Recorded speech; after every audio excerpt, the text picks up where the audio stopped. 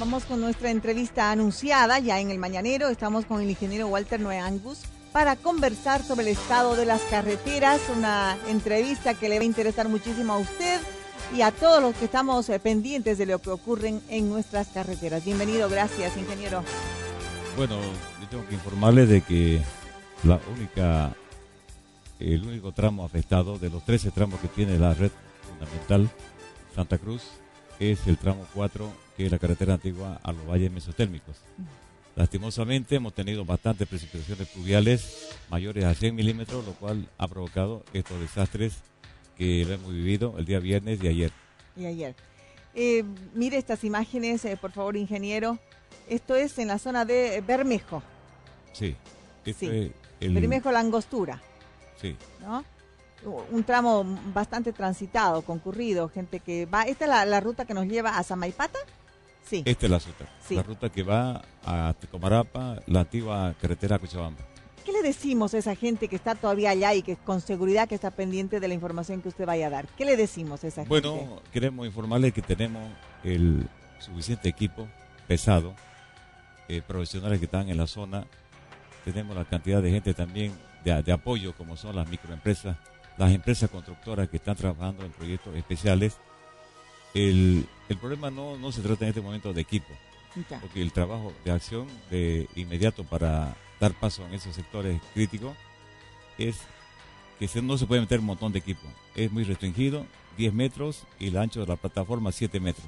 Entonces se nos hace difícil eh, trabajar con, aunque tengamos 100 equipos, solo podemos meter 3 o 4 máximo. Cuando dice ancho de plataforma, ¿se refiere al ancho de la carretera? De la plataforma de la carretera. De la carretera, ¿son 7 metros nada más de ancho? 7 más las bermas que, que, llegan a 9 metros.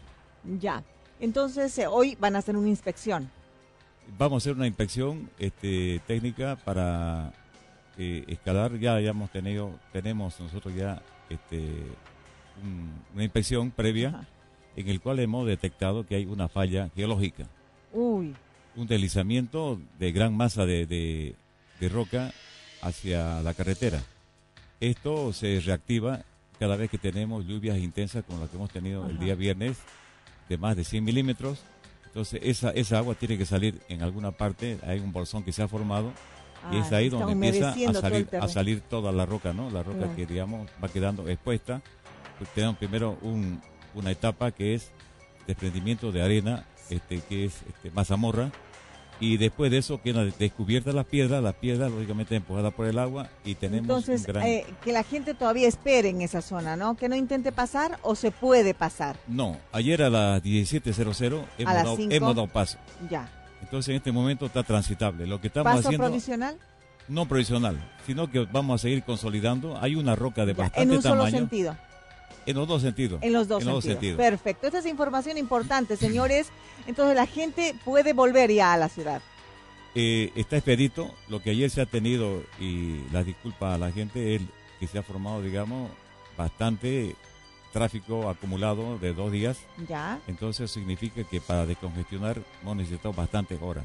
Perfecto. La misma gente que le hemos recomendado que se siempre cuando hay estos eh, procesos así este, de deterioro, se, se ponga en una sola fila, no obedecen, entonces cuando toca de, se habilita ya, se da solución, cuesta de, de, congestionar ese tráfico. Ese tráfico, claro. Ya no hay quien pase primero, todo el mundo quiere pasar, entonces ahí, digamos, es donde tenemos el orden, más orden. En estos casos se necesita mucha orden y, y, hacer caso a lo que nos recomienda ABC para que podamos eh, darle solución. Como usted nos acaba de decir, estamos ya sellando en pantalla entonces, está expedita la ruta hacia los valles. ¿Está bien eso? Está expedito, lo que sí seguimos recomendando.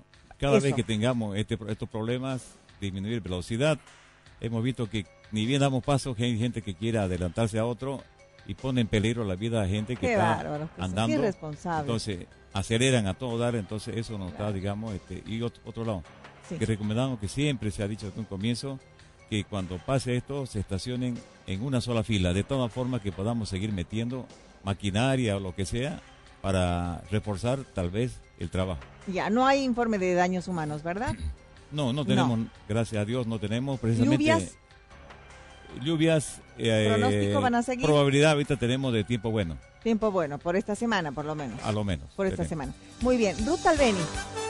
Ruta del Beni eh, no hemos tenido ningún problema. La intensidad de lluvia más se ha ido hacia los valles Hacia los mesotérmicos.